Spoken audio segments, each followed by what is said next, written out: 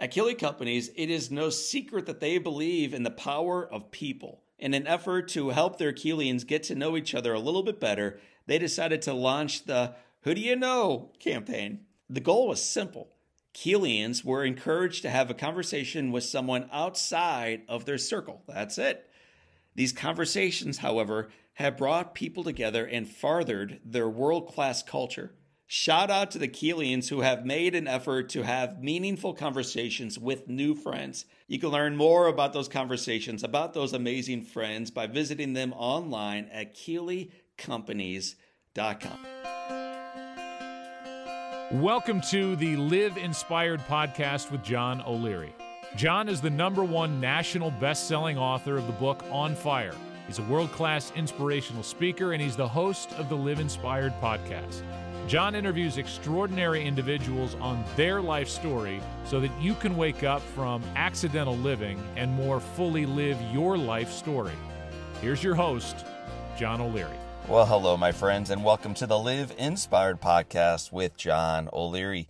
You are in for a treat today because today's guest proudly holds many amazing titles, including wife and daughter and mom, and neonatologist, reality television star, cancer survivor, best selling international author. Yet at her core, she's just trying to live her best life while doing the best she can to serve others around her. For 14 seasons, Dr. Jennifer Arnold, that's a name I'm sure many of you recognize, alongside her beloved husband Bill, starred on TLC's hit docudrama, The Little Couple. It's on that show that they courageously shared their life journey to starting a family and the daily challenges that they faced each and every day. Today, Jennifer shares how she's overcome numerous life challenges with optimism, including dozens of childhood surgeries related to a rare type of dwarfism, what inspired her to become a doctor, how she treats her patients, how she's faced a devastating stage 3 cancer diagnosis, the adoption of a child, then a second child, and then the life they had going forward. It's an amazing story. You're in for a wonderful, wonderful conversation with one of my favorite people. So, my friends, this conversation that you are about to hear is one of hope, and it's going to remind each and every one of us that when life gets difficult, and it will, that there is reason for hope, that the foundation is indeed firm, that optimism still matters, and that the best is yet to come. To guide us into that conversation is my friend and now yours. Her name is Dr. Jennifer Arnold. Jennifer, welcome to Live Inspired with John O'Leary. Thank you so much for having me, John. Oh my goodness, it's quite quite an honor. Well, uh, lower expectations, but here, here, here, here we go for the, for my honor, which is to bring you onto our show. I'm going to begin with just a, a few titles: wife, mother, daughter, author, reality television star, board certified in both pediatric and neonatal medicine. Currently working at Boston Children's Hospital, Harvard University as the program director, on and on and on and on from there. So here's my question. If you and I bumped into each other in Boston at a coffee shop and I said, hmm, Jennifer, tell me about you, what would you say? Oh my goodness.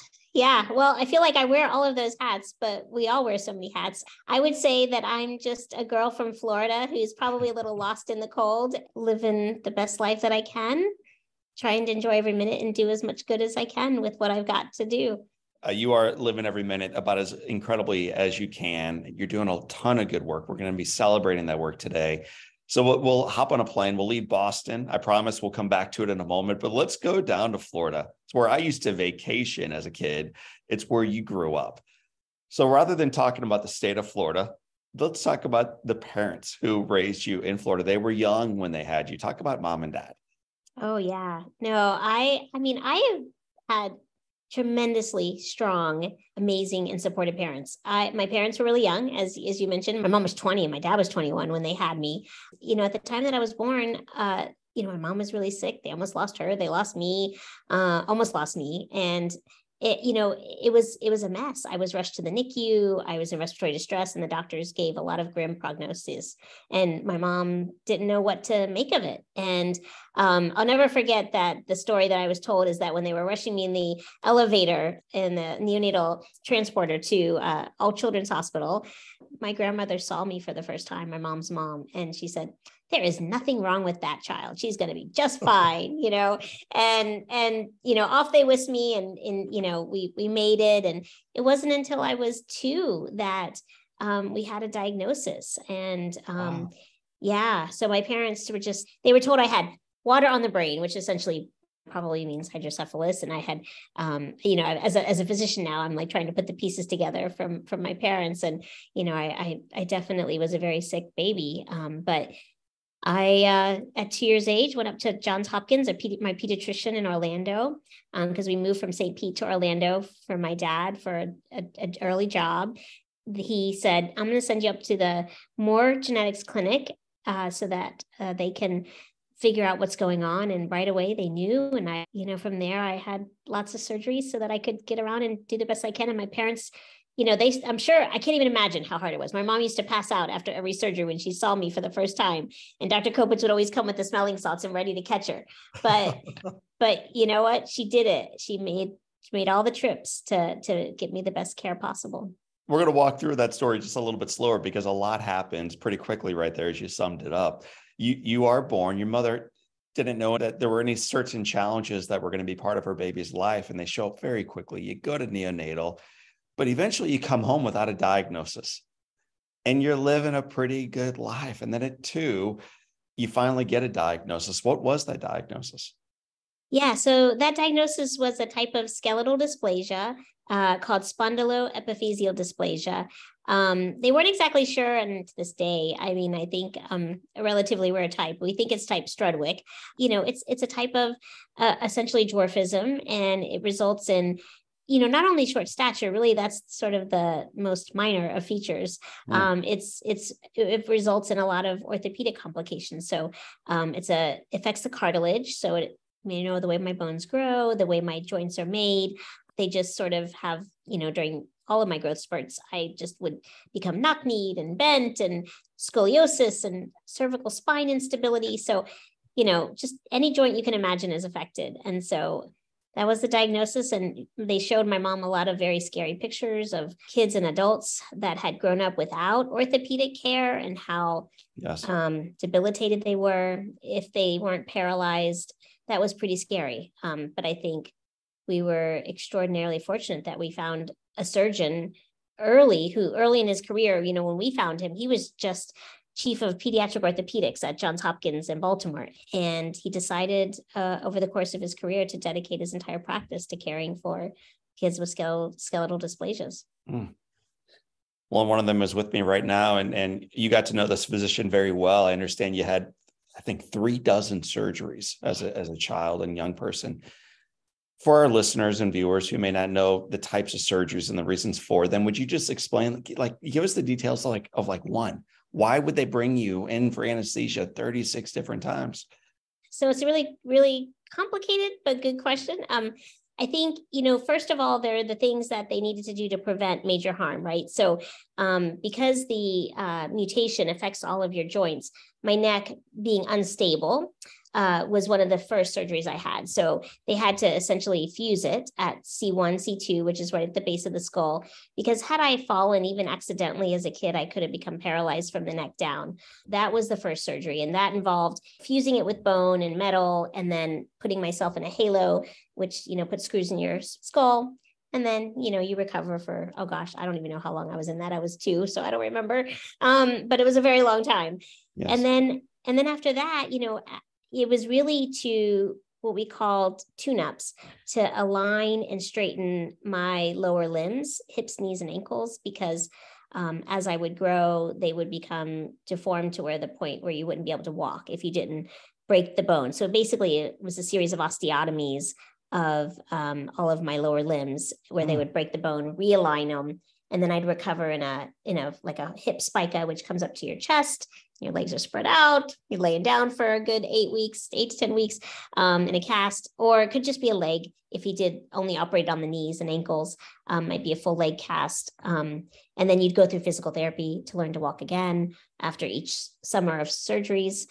And then, um, you know, I had my back because I my scoliosis as I hit puberty, got so bad that I couldn't breathe properly. And bracing, we tried it for a year, it didn't work. So a lot of my surgeries were when you were growing. Thankfully, after college, um, the growth issues and the abnormalities and the way um, I was aligned stopped. So I don't have to have those anymore.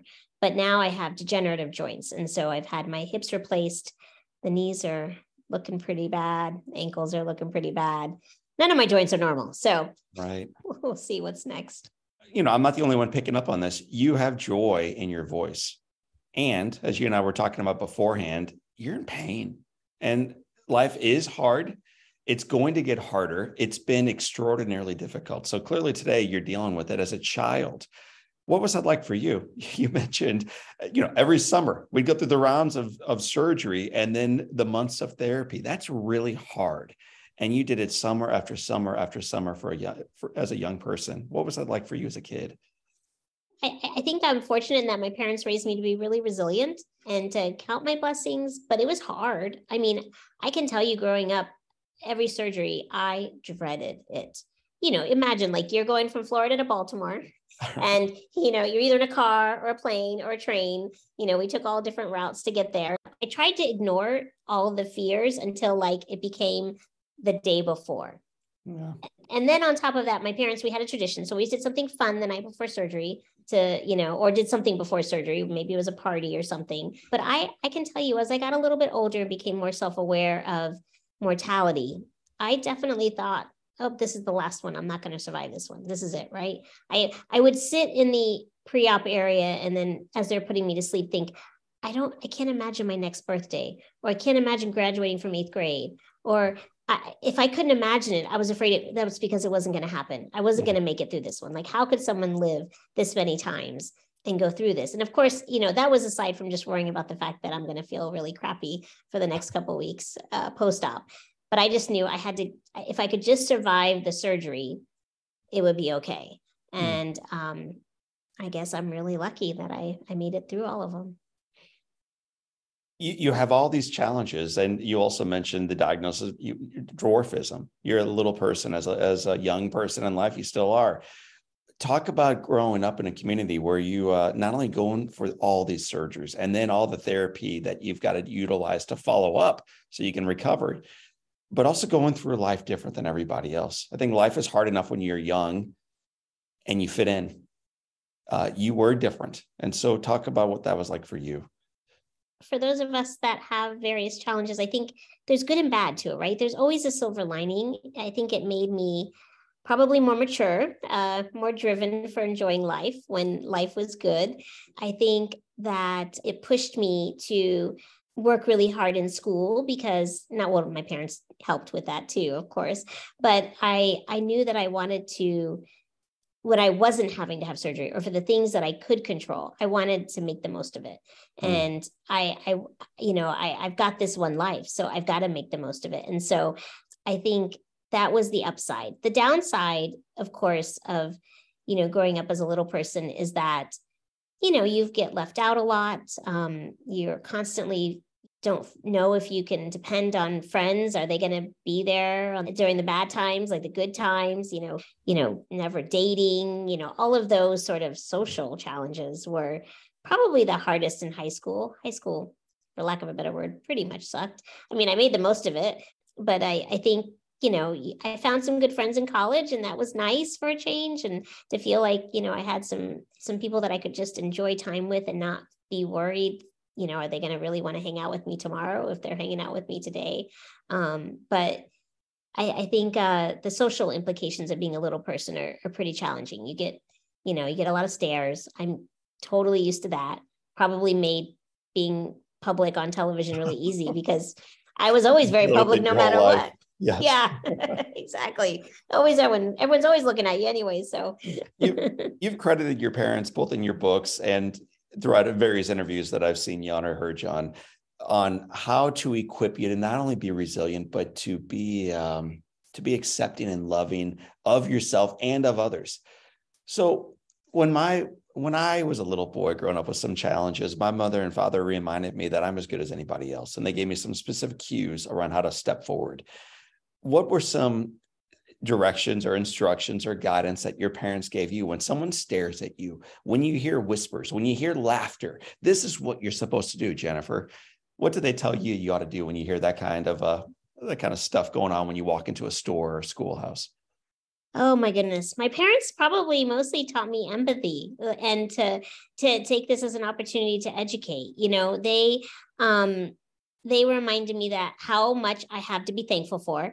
I they really didn't let me have a lot of time to be down.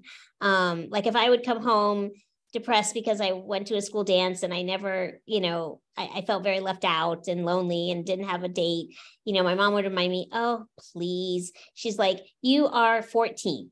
She said, right. You're going to be just fine. All of those kids, sure, they may have, some of them may have a date. Not all of them do, I bet. So you're not the only one. And, you know, did you have a good time? And that's all that matters. And, you know, you got plenty of time for the other things um so you know and my mom would just you know my parents remind me to to count my blessings for all those that i things that i did have i had my brain you know i i had a lot of you know i was a hard worker and you know i could accomplish almost anything i wanted so they they really did remind me of that and to not um, sweat the small stuff um i think the other thing when you know, I would get made fun of or people would stare. You know, my my dad, he was a little bit of the jokester. He'd say, ah, just tell him take a picture. It lasts longer, you know. And he'd tell me to to make a joke if I'm feeling uncomfortable, and um, you know, and they just reminded me that they don't know. Just you know, if someone asks you why you're so short, or you know, if they say they call you the M word, you know, midget, just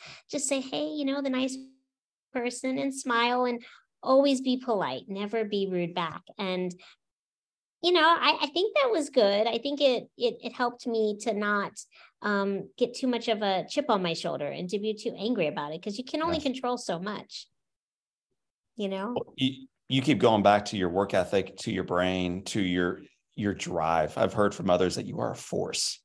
Like, hey, do, do not be fooled by the smile and that joyful voice. This woman is a force. Well, part of that force threw yourself into studies. Uh, I, unfortunately, John O'Leary did not have that same force going through high school and college, which is why I'm not a medical doctor these days.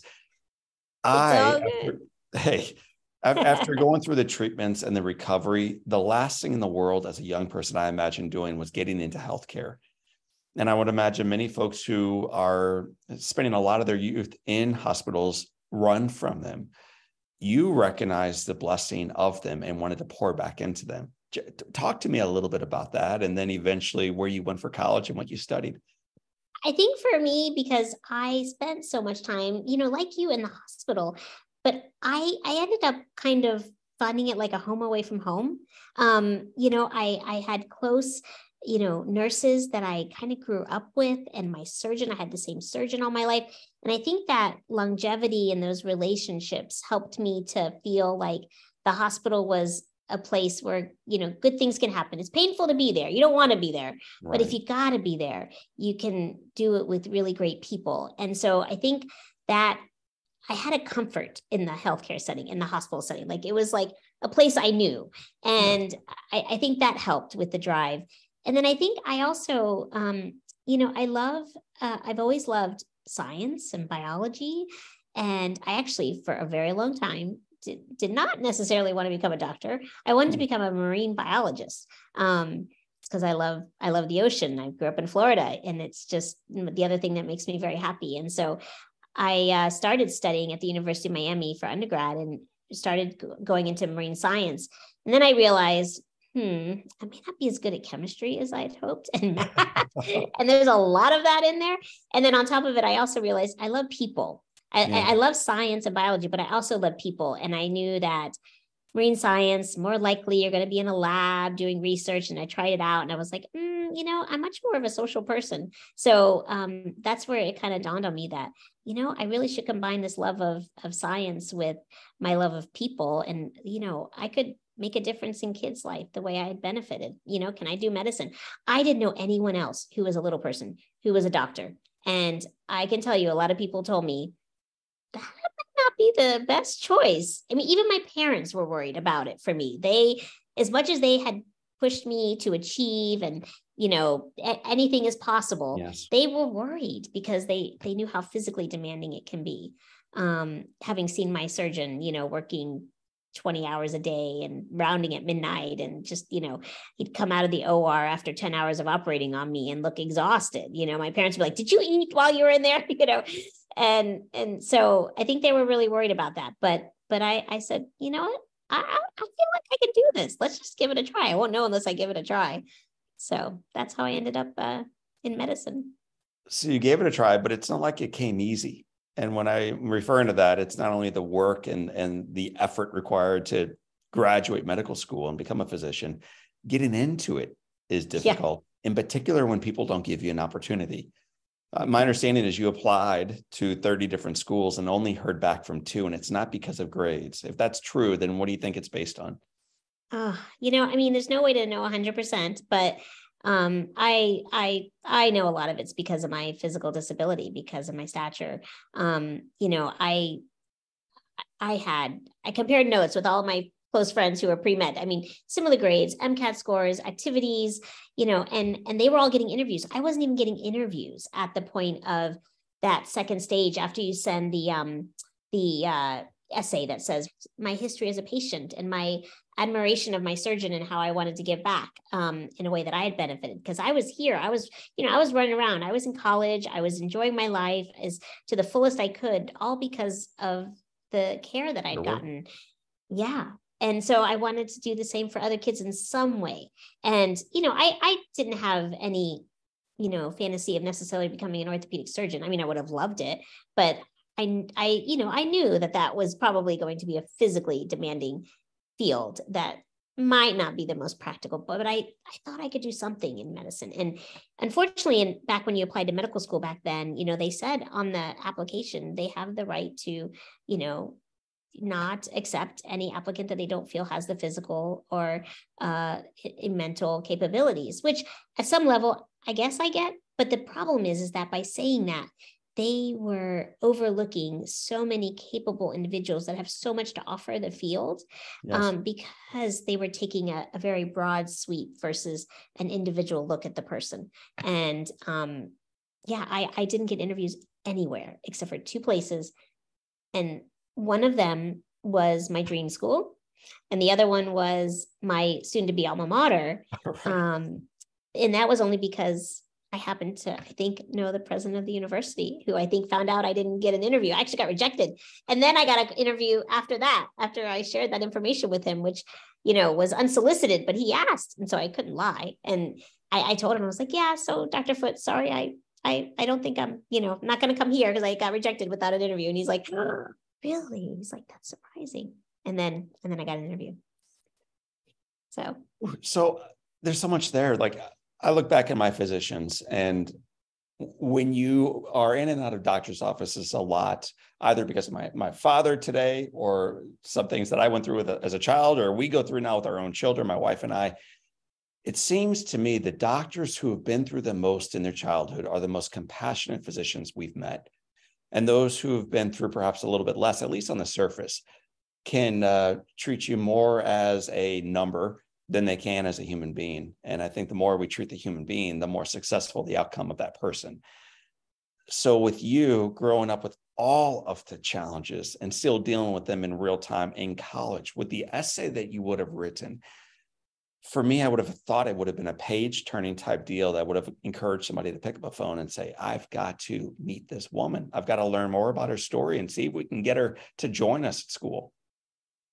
Yeah, you know, it's um it's it's it is rather disheartening that in the field of medicine where you know back then and today but back then there was just this sense that you had to be i call it a pluripotent stem cell it's like it's it's like you have to be capable of doing all fields of medicine to enter into medical school which is in hindsight kind of crazy yeah. but but uh, but that's that was the perception right you had to be fully healthy and strong to care for those that are sick meanwhile if you've lived it, you're a better caregiver, right? I mean, why it, it it didn't make any sense. Um and i think today things are slowly changing. They're getting better.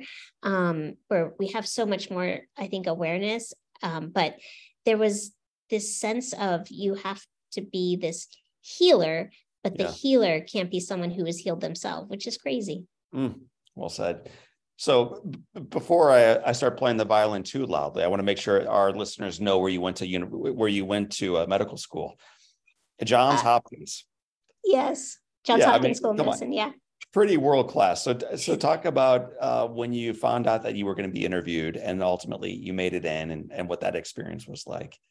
Oh my goodness. Well, you know, because my first interview was at was at my un, my you know that my soon to be undergraduate at the University of Miami, and that one was rather grueling. Um, I was very nervous about this interview, so I did not tell a soul that I was going there um, except for my parents because well they had to buy the plane ticket. So, so I, I, I you know and i had connections there. Now i hadn't my my surgeon had um not worked at johns hopkins for about mm, 10 years 10 plus years since i you know until what till the time you know i went to interview. So i didn't still i wasn't still a patient at johns hopkins then at the time. It'd been you know not since i was 12 but you know, I had some connections. So I didn't tell anyone. And I went up there, I, I went on my interview. Um, I met with a pediatrician. And, you know, it was honestly um, a very easy interview. Like he, you know, he asked me about my grades and my career aspirations and my activities and like the normal stuff, why I wanted to become a doctor and, you know, what areas I was thinking of going into. Um, and never once asked me about my stature. Whereas my previous interview, had been all about my stature and how I was going to see patients and how I was going to be a trauma surgeon. And I was like, I'm not going to be a trauma surgeon, you know, I was right. thinking in my head, but I didn't say that. Um, but, you know, I think you know, it was just, it was an hour of me defending my interest in going to medicine. And this one was almost too easy to where I thought, oh, they're totally being dismissive, right? They're just, you know, thankfully I got the interview, but it's probably not going well because they're afraid to ask me about my stature. So I started to bring it up and I, I had, you know, some ideas about how I would see patients with my step stool and use my scooter to get around the campus and all of that. And honestly, um, after that, it was so, it, he was like, yeah, that makes sense. He said, you know, if you need help when you're here, we can do something to support you. If you come here, just let us know. And, and that was it. And then I, I got accepted two weeks later. You know, it, it was four of the most amazing and toughest years of my life, I will tell you. So, um, I've heard you say that before. Grueling is a word I've heard you use, use several times. And it, if I'm reading between the lines, it wasn't just the intellectual book side. When you use the word difficult or grueling, what, what are you referring to?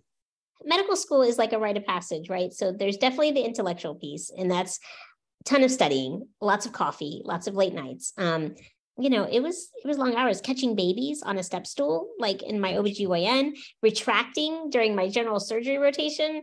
I, I literally would take and, and I'm so thankful for the nursing team because they would they would sterilely drape my three layered step stool contraption so that I was sterile getting up there and I could be at the site and I could do what every other med student did and retract the thyroid, which thyroid surgery of all of them like the patient's sitting upright. So they're higher than most. And so, you know, I was like really high. And I remember holding this thing like this. And I remember at one point, you know, Dr. Udelsman, uh, you know, great endocrine surgeon, thyroid surgeon.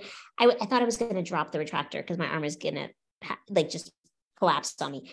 And he was, I said, I was like, do I interrupt? I'm a student. Like, what do I do? So I, I said, I'm sorry, Dr. Udelsman. I said, you know, I think I need to t- switch hands. He was like, no, no, no, you're great. Stay right there oh my crap, please do not let me drop this in the middle of this person's surgery, this poor woman. And I did it. I made it. Like, I guess that's how they build you up. You know what I mean? They like make it tough, like make you do it because you know a life's on the line. And and I did great. So, but uh, I, I don't know. It's it's memories like that that I just think I learned a ton. I learned how to be a good doctor. I knew how to. I learned how to be dedicated um, to to to put you know everybody else before yourself. Um, and and you know it was tough, but I made it. You know, we could spend all day talking about work you know, or talking about uh, reality television. We'll talk about that momentarily. But speaking of love, eventually love is going to show up in your life. It, it, it kind of steps in and out of your life at various times with a fellow named Bill, but it's going to show up in a mightier way. Talk about Bill Klein. when you uh, when you were finally in a place where you were ready to date him? Because I know you had some overlaps, but when did Bill show up at the right time? Ah, yes, we we call it two ships passing in the night, the two of us. Um, yeah, you know, we we um, you know, we met when we were 10. I don't remember. I don't know if you want me to tell you that story. Um, we were in the hospital together, but um, and then our our surgeon and um, our surgeon's nurse practitioner Diane tried to set us up when we were in college, but we never met. I was too busy going to school, uh, you know, and and working hard, and you know, to find to reach out to somebody. Um, I just I just didn't. And then one day, um, with a glass of wine and my best friend, I went on a dating site called uh, datealittle.com, and it really does exist. And uh, I said, all right, I'm going to search a 500 mile 500 mile prof like radius, and I'm going to find one guy to send an email to. And she went on Match.com and she found one guy much closer. I ended up um, emailing this guy named Bill Klein. I didn't realize who it was at the time. I uh, sent him a random email. Hey, have we met at a Little People's Conference? I mean, I hadn't been to many, but I'd been to a few. I'm like, what do you say to somebody you don't know? Another little person who's you know in New York, and I was in Pittsburgh at the time, and ended up um, sending him this email. He wrote me back. He revealed to me on our first phone call that did know who I was and he'd been following my career. And I thought, oh God, I I have found a stalker. Um, you know, what luck is that, right? And um, this is before social media, right, and everything. And so, long story short, um, you know, he he he revealed to me that we met when we were ten, and he had uh, followed, you know, been heard about me through our surgeon. He also wanted to go into medicine at one point he's smarter he went into business. So you know i always um you know he's the brainiac in the family to be honest. And um and he uh you know we never really officially met until then. And mm. so of course after that i called our nurse practitioner diane and got a background check and made sure he was okay. And she said absolutely okay and confirmed that it was the guy that you know she had tried to set us up with. And uh, honestly we talked for a good month on the phone um, before I started falling asleep on him because you know I was a I was a fellow working 100 hours a week in, neonatal intensive care. And so he finally said i've got to come see you. And so we planned the the free weekend. You know when you're on when you're in training you get a golden weekend every month. That's your only weekend off. And so i um i said well this month it's my birthday weekend is my golden weekend. And my friend my best friend who was the one that i had also you know, reached out to him with a glass of wine at the same time with is throwing me a birthday party. And I said, you can come, but you're going to meet like 40 of my friends all at once. And he's like, all right, I can handle it. And he did. And he did great. We had um, sushi the night before. We never ate a bite. We just talked and talked and talked. And it was like we knew each other forever. Mm. Um, so I, I, I feel like we just, we were meant to be. And he's the love of my life. He's my best friend. I'm glad you married your best friend. I'm glad you your your paths crossed again after crossing several times before that. You're going to say the words I do, and then you're going to get some unusual opportunities in your life. And I'd just like to go through a few of them quickly. Reality television. You don't strike me as the type of woman who seeks to become a reality television star. And you're nodding your head like, no, not at all. But no. you do. Like, but you know, I did it. So, like, talk about the opportunity and then ultimately why say yes to it? Yeah, that's a good question. You know, um, I still look back and I'm like, how did that happen? But you know, it did. And um, I guess life is full of surprises, and that's what makes it so great. Um, you know, we um, so the, the, how it all began actually is when I uh, moved to Long Island for my first attending job. I was uh, I, I started off as a neonatologist at Stony Brook because Bill was from Long Island. He had his own you know company. So i had after i graduated from my training i had the opportunity to move. So i lucked out with a great job there and we were planning our wedding and that's when good morning america was doing a little like a, a segment on women with skeletal dysplasias who had professional careers. And oh.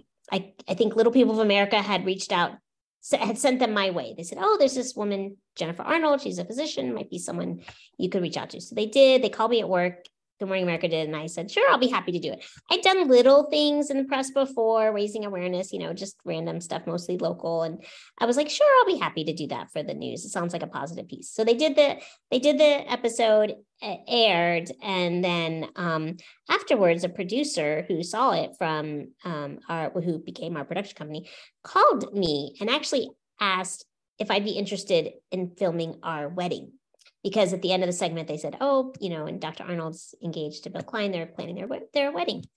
Well, we turned them down. We said, mm, I, I, talked to them and there was like, it sounded sensational. They're like, we want to see how you get your dress altered and how you're going to like do this and do that. And I was like, it's all about the size.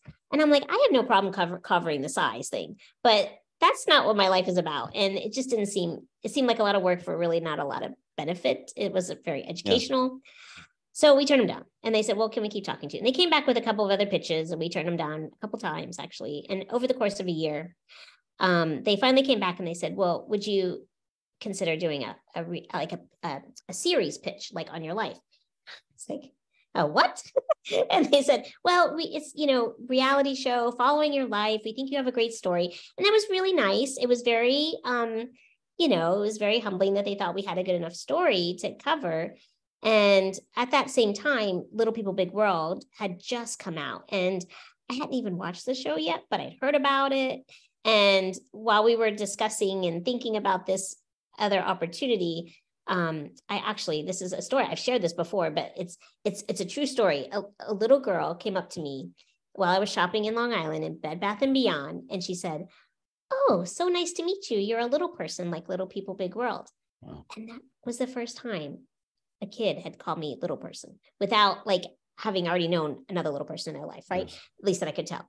And so, and I figured out that she learned it from that show. And I thought, oh, maybe we should do this. Maybe we should do this. It's that show is making a difference already. Maybe this is an opportunity we shouldn't like just dismiss. So we agreed to give it a try. And it was just going to be a pilot. We filmed the pilot. I thought, what and done, right? Bill literally was post op two days when it aired from his hip replacement surgery. And so I remember being, and we were in the process of moving to Texas already at this point. So we were like in in his house, in our house, our house at the time we were married, um, and it, it was on the market, and we'd gotten all of our furniture out already, and we were in like the one little room that he'd saved like a microwave and a bed because he was commuting back and forth for work still and he was like on lots of pain medication slept through most of the episode and we watched it. And i think at the end we were just like okay that wasn't too terribly embarrassing. It's over. Right. we'll, we'll see what happens. And then next thing you know like it gets picked up for season one. And you know every season the producers were like the production company's like this never happens. Right. like it just keeps going. And it was only the two of us for many years. So um and we just we somehow fit it into our lives but we tried to make sure and it was a constant battle that it was not sensational. We yes. were not and if it got canceled because of it so be it you know? We had too much to lose. There's so much that comes out of that for the viewers. Like you you are helping shape those who are tuning in uh, with every every episode every season i think 14 seasons is that right? Yeah. 14 seasons. It's an unbelievable run uh, what was the hardest part of doing that work? Because it is work. It might they might put the quotation reality television, but the reality is this is work. So what's the hardest part of of reality TV? Yeah, it definitely is work. And um you, you said it like because we used to, we well, first we thought, oh, you're gonna watch us like just do our yeah. work and you know, Bill's gonna be working on his computer and I'm gonna be going to the hospital. You know, no, no, no, it's not that. Um, because you know, every time you cover something, you can't do it again. So you gotta keep creating content. Um, I think the hardest part was just time schedule um, because we both did have full time careers and we had to fit this in. Um, but we got pretty creative and we had a great production team. I mean, our executive producer became like family. So, and, and to be honest, I could never have done this myself without um, a partner. And Bill was so good at, you know, sort of navigating the creative piece, making it work. He would spend the time, you know, um, with the producer.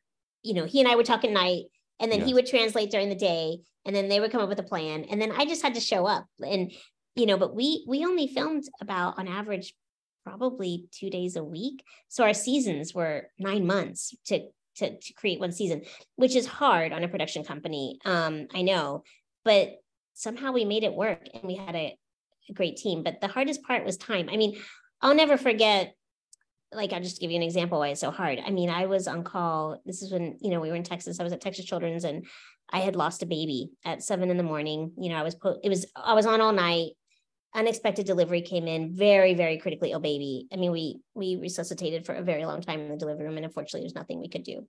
And i had to go home after that morning which of course i came home really late because you know that had all happened in the wee hours of the morning at you know when i was trying to get off my shift. And um and i had to like go be happy and go do like an anniversary cooking thing with bill. And it was just for whatever reason that that was one of the hardest moments to film. And I, I i yeah there just there were more than days like that you know when you're sort of got all that other stuff going on and you can't you can't bring it to tv because they weren't there. So um you just have to kind of pick yourself up and keep going. And you know at least it made life interesting and we always had fun things to look forward to. But um i think the time piece and the exhaustion piece was probably the hardest you mentioned years earlier that you were in Long Island at a Bed Bath and Beyond. So apparently, the, the episode is being brought to you today, listeners, by Bed Bath and Beyond. So there you go.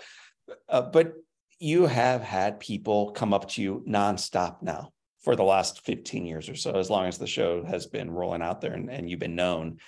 Is there a favorite story? I know you've got countless stories of people approaching you, letters you've received, phone calls you've received.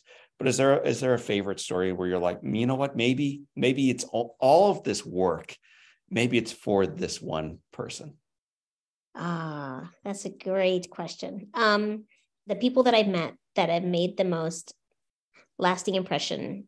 Um, I think it's been the families that I've feel like we've touched with our program because of adoption, yeah. cancer, or disability. There's one young girl that I met who had major medical challenges and you know um, disability. And she uh, she reached out to me and she actually uh, spent a day with me at the hospital because um, she you know watched on the show and she wanted to go into medicine. And um, she said she was inspired to do it because um, because she had seen that I could do it on on my show and so she's still in college right now so i don't know if she'll uh, what what will come become of her but i know she will do amazing things because i have never met a woman with more drive and more mm. passion for taking care uh, of others and yet she's been a patient all of her life so i think it's it's it's really those that have told me that watching the show help them get through a tough time or help them to not be afraid to go for what they want to achieve yes. in life that has meant the most to me. You you gave us three big groups. I'd like to go through those three groups uh, because all three matter so much. Let's begin with adoption. Will you, you mentioned earlier about bill what a great gift it was to have a partner going through this. Well now the partnership agreement has grown a little bit when will shows up in your life. Talk about the joy of raising will Oh my goodness. Will has just been a light of our life. He is always happy. He's charming. He's the kindest soul I've ever met. And um, you know, we we we found Will through Rainbow Kids. Um, you know, we we knew we wanted to adopt. Actually, technically we signed up to be on a wait list for adoption before we were married. it's one way to date your your your future spouse. Right. Be like, hey, you know, this wait list, I heard it takes six years to, to, to get us. Can we sign up even though we're not married yet? And, you know, he's like, okay. Um, and, but, but, you know, I, I knew, I, I always knew I wanted to adopt whether or not we had a child biologically, great. But I knew I wanted to adopt another little person. And, um, he was supportive of it. And so when we became serious and we like, you know, went, did all the homework that you need to do and the home studies, all that, I mean, we, we found Will and, I think we were scared to pieces to become parents. I mean, he made us he made us parents, and uh, mm. but but the, raising him has been nothing but a joy. He um, I'll tell you, the first time we met him in China, we walked into he was in like in a in his foster facility, and I walked in while he was in with his therapist doing some speech therapy, Bill and I, and he looked up and he said, Mama Baba. You as I say this, I'm trying not to cry. The tears just like I was like, I was like done. I was like, oh my God, this is like insane. He doesn't even met us yet. and He's already calling us Mama Baba. And it was it was it. He was he was ours from the from from that moment on, meant to be. How, how old was he when you got him? Three. He was three. Three years old. Just turned three do you celebrate his birthday or the day you got him day and and w- to which degree is the, the, the one where he wears the golden crown even higher than the other one we celebrate both. Um, he probably does get more presents and traditional like party stuff on his birthday, but it's family time on on his his gotcha day. And um yeah his gotcha day he always gets something special. We always feed him whatever he wants. He is a lover of food. Um so it's it's it's usually chinese food and usually not always. Either we go out to a really nice place or i have to cook which is ooh, i try my best um to make authentic um inner you know mongolian uh dishes like hot pots and things. But he honestly he he celebrates both and he loves to watch his video. We play his song. He has a song um, that our producer's husband wrote just for that episode, and that is that's his song. And um, it's it's just he's he's known in the orphanage as being the baby whisperer because mm. he hmm. cared for babies, and he is to this day a caretaker. He'll come up, give me a hug if he sees me stressed out he you know he's now a preteen and he just hugs me and is like mom it's okay mom. He's like got a deep voice. I'm like what happened to my baby? But you know it's all good. Well your baby has a baby sister. So uh, as we move through adoption talk about zoe. I can't let you brag on one without bragging on both. Oh no, I have to brag on both. Zoe is also the other light of our life, and she is the one that keeps us on our toes. Um, you know, we brought home Zoe at two, and she you know she she came to us from india and she honestly um, had probably a, a, more challenging circumstance um, you know before we got her. She was failure to thrive um, pretty pretty malnourished um, pretty had a lot of challenges and she struggled when we brought her home. I mean she was what you hear about more commonly in terms of having difficulty with attachment and trauma and so um, you know there was it, was it was hard because she cried a lot and all we wanted to do was love her and, and help her to feel safe. And but at two what could she understand? And so um, she has just blossomed though into this amazingly bright spunky um so strong-willed young lady that no one is ever going to put Zoe in a corner and I am thankful for that because she is just the most resilient young lady ever. And she's my she's like my bestie. So she likes the ocean like me, she loves art like me. She uh, she likes horses. I don't like horses. I mean, I like horses, but I'm not an avid horse person. But that's her thing, and I'm just trying to embrace and support all of her growth um, because she is just such a vibrant, funny, and like just I don't know how to describe it. Leader. She's a leader. She's gonna take over the world one day. I have no doubt. So um, the two of them, they are like best buds, and they are they're our babies, and it's been a privilege and humbling to to be a part of of raising them. You know, but well, I can't take the credit your voice changed. It, it's always been joyful this entire conversation, but when you began talking about Will and then Zoe, it, it elevated even more so. So clearly, they are light to you. They are brilliant. They are beautiful, and you're an awesome parent. And in the middle of all this joy comes another storm on the horizon. You, you mentioned three groups adoption. There it is. You also said cancer. You're part of that group now. So talk about the, the diagnosis of cancer and to the degree uh, of like some of the challenges you faced and ultimately what what got you through it. Yeah you know i mean who would have thought that after you know all of the um, orthopedic challenges i've had in my life that i would have cancer? Like i really kind of thought in the back of my mind oh i'm not going to get that one right. Like you know i've had enough. Like what are the chances the odds? Well just like anyone you can get it. And and i did. Um yeah it honestly came at probably one of the most craziest times ever um, you know, the adoption process for Zoe um, was was hard because you know going through India it was it was a little less um what's the word um straightforward as it was with China. And so there were times when we very much feared we were not going to be able to bring Zoe home and that was extraordinarily stressful. And then we went, we got approval, we were going to India and I got sick. And it turns out that I had, well, I knew I had accidentally gotten pregnant of all things after bringing Will home. You know, you hear these stories, right? It's really true. People go through infertility and adoption and then they accidentally get pregnant. Well, I did. Um, but it, it was a completely non-viable uh, baby. And so I had a D&C and I was completely recovering from that. And I thought everything was fine. Well, we went to India um, maybe two weeks after my, or three to four weeks. I'm trying to remember the timeline. No, three to four weeks after my D&C. And then I started having major bleeding, major bleeding. I had to tell her how much. And she was like, Jen, you need to come home. She's like, you do not want a blood transfusion in India if you can avoid it. And um, it was that bad. So I ended up um, leaving Bill uh, and the and our kids and with our nanny. Thankfully, we had a nanny to help. But um, I, I actually said to Bill, I was like, so we can't take Zoe out of the country yet, but I also I could I should take Will with me, right? So that you don't have like two kids by yourself. Like this is a lot going on. And he was like, um, and what happens when you pass out on the plane and Will's by himself? And I was like, oh yeah, I guess that's not a good idea. so I was like, all right, I just, you know, I didn't I didn't want to leave. Um, but he was like, I need you for the rest of my life. So you need to go home.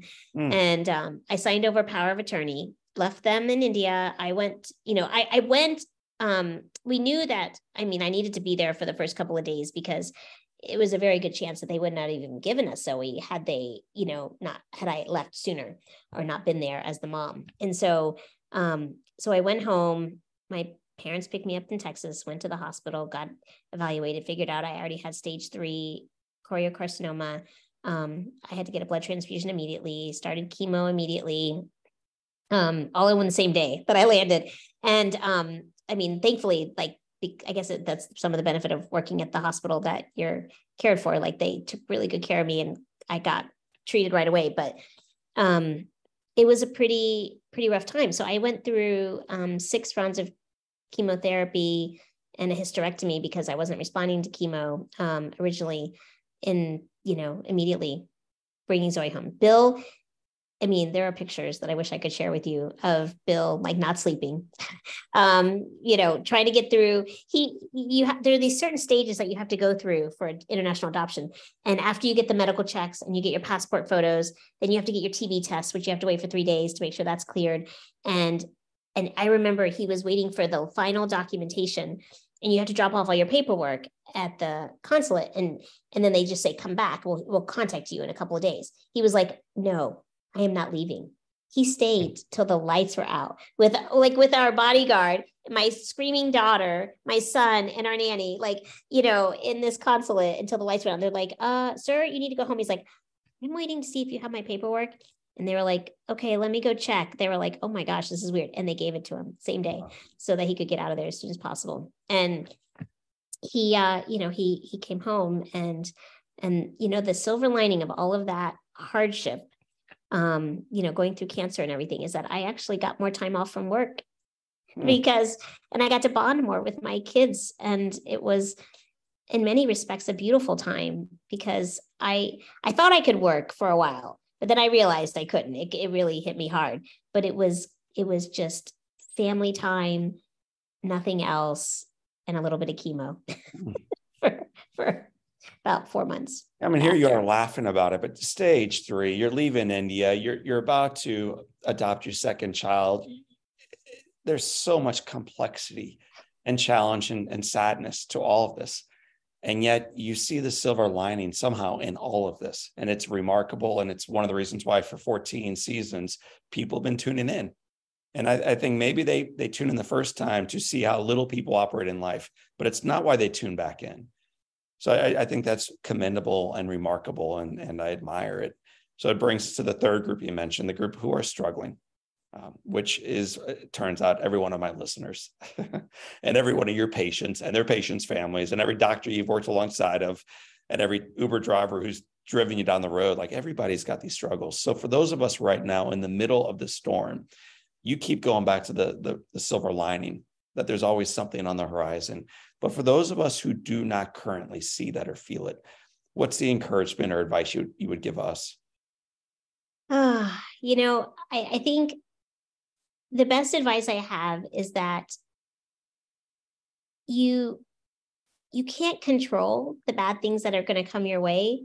Um, my aunt, who I was very close with as well, who was also very instrumental in raising me, both my aunts, you know, she always told me that you can't control what happens to you, but you can control how you react to them.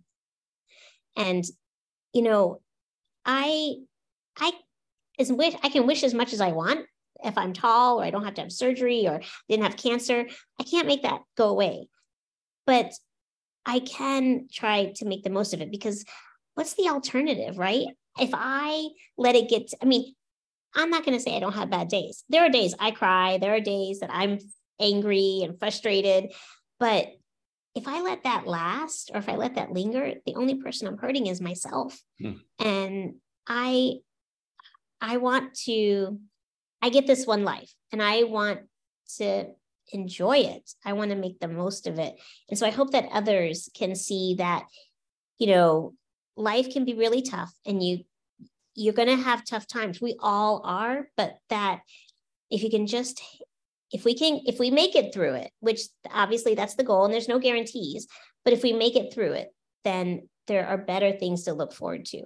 And that's the part of life that's worth living and worth living for. And so um I just I I always try to hang on to that when I'm having a really bad day because um you know, you don't get a second chance. So you just got to hang in there, ride the waves, um, and hope that you can make it to another calm spot. And you may get more waves again, but there's always going to be a calm spot to, to look forward to. Well said. Doctor, we wrap up every single podcast with seven questions that tether all of our beautiful healing physicians and thought leaders and authors and friends together. So, question number one for you is What is the most impactful book or most inspirational book you've ever read? Ooh, okay. So my ins- most inspirational book um, is probably The Color Purple. It means a lot to me and my family. Um, so I love that book. But I would say one that kind of got me through some really difficult times. Uh, it's a cancer book, and it's called um, "My Crazy Sexy Cancer Journey." I think. oh my gosh, it's hilarious. So um, reading something fun when times are really bad is good. what's one positive characteristic or one trait that you possessed as a little kid that you wish you exhibited as brilliantly today?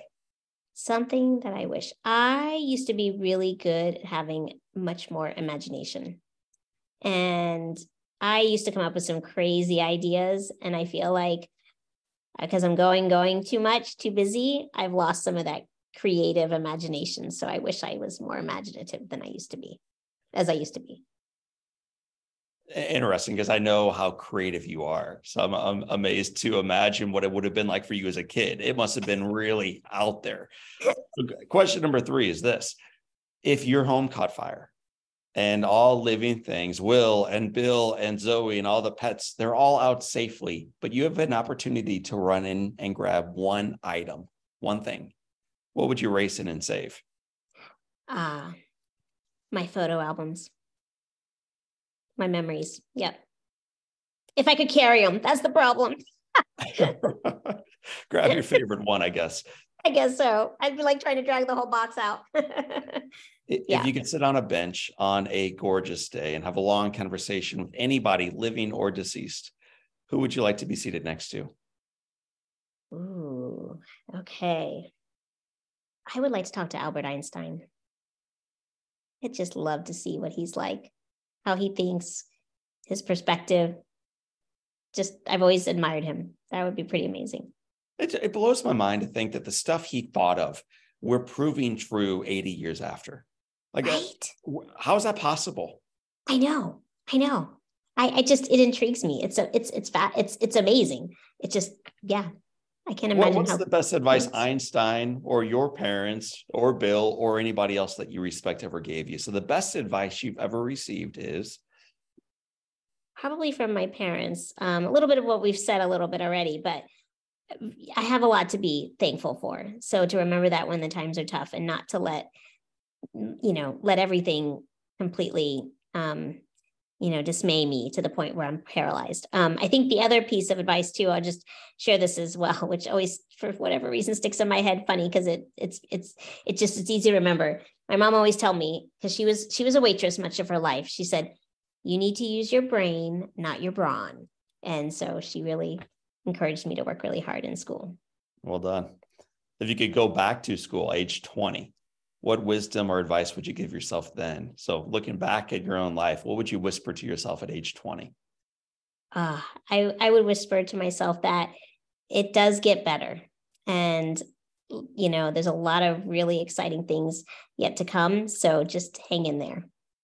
When I, I read in your book, uh, your, your husband at age 20 almost took his own life on you know on the, the dorm room ready to leap and uh, he needed the reminder that it's going to get better and you needed the reminder that it's going to get better and i think it's a message every one of our listeners need to be reminded of from time to time that as difficult as this day is it is going to get better yes yes it it you know i i am so thankful that my husband didn't take that leap i would never have my best friend Mm. I would not have the life that I have. I would never have had a partner to get through cancer and kids and work and television and anything. Like he's just my rock. And um, thank goodness he he realized that it it is going to get better. And um, I think for all of us, it's hard sometimes to see that it can get better depending on where your situation is. But when it's really bad like that for me, the other thing that I think about is that well, if I were to end it, there's no coming back. I have eternity to be dead. So I'm just going to get through this and hope that it gets better. And it hmm. always does. Dr. Jennifer Arnold, it has been said that all great people can have their lives summed up in one sentence. How would you like yours to read? She gave it her all and loved every minute of it. Dr. Jennifer Arnold most certainly gave it her all. She loved almost every minute of it. And we certainly have loved every minute of her being on our program today. Doctor, I want to thank you again for making time, for being a role model for not only mm-hmm. 14 seasons of television, but for a lifetime where people weren't watching you on TV, but they were observing what heroism and courage and love and faithfulness looks, looks like in action.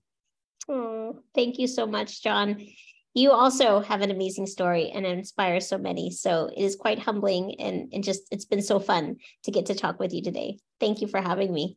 Well, my friends, that is Dr. Jennifer Arnold. My name is John O'Leary, and today is your day. What a gift. Live inspired. I love the joy in her heart. I love her awe I love her optimism. I love her courage. I love her grace. I love the way Jennifer shows up and exudes life. With every challenge she faced, including her struggles with cancer, infertility, adoption, and simply living her life in a challenging world, she remained steadfast in making this world, our world, a better place through her encouragement, through her education, through her love. My friends, if you enjoyed today's conversation, you are going to love the conversation that I had with my girlfriend. She is awesome. Her name is Kechi Okwuchi. Like Jennifer, Kechi reminds us of the ability we have to choose the path going forward, regardless of the obstacles we faced. In one of the most heroic conversations we've ever had on the Live Inspired podcast channel, Kechi shares the story of growing up, a plane crash that changed everything the scar she still bears, and the voice that reminds others of the possibility in their lives. It's an awesome, awesome story. Beautiful life. If you want to hear more about Kechi, check it out. Episode 466. I'll also have a link to it in our show notes. You can learn more about both by visiting me at johnolearyinspires.com forward slash podcast. My friends, I want to thank you for being part of our Live Inspired community. I want to thank you for uh, tuning in, for making a difference. I want to thank you for checking us out over the holidays. I want to wish each and every one of you a Merry Christmas. And I want to remind you of something our guest today reminded us The foundation is firm, the challenges are real, and the best is still yet to come. So, for this time, and until next time, my name is John O'Leary. Today is your day. What a gift. Live inspired. You know that Keeley Companies is all about fostering the world class culture through their incredible cultural pillars. Well, it was time to add a seventh cultural pillar, Keeley Green. Guided by the mission to raise the sustainability standards by which they design, build, operate, and live, Keeley Green is dedicated to using a holistic approach to leave a positive impact on our environment, create a future that is sustainable for generations to come. In the words of Rusty Keeley, we are just getting started. You can learn more about that just getting started mentality and all the work they do by visiting my friends at Keeley Companies online at keeleycompanies.com.